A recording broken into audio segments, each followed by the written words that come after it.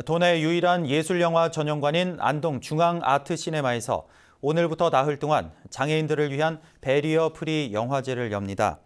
베리어 프리 영화는 기존의 영화 화면에 음성으로 설명해주는 해설과 대사 등 소리 정보를 알려주는 자막을 넣어 시청각 장애인 등 누구나 즐길 수 있는 영화를 말합니다. 장애인 커플의 아름다운 소통과 사랑을 담아 2011년 암스테르담 국제영화제에서 대상을 받은 달팽이의 별과 장애를 넘어 음악적 재능을 펼친 미라클 벨리에와 터치 오브 라이트 등 영화 다섯 편이 상영됩니다.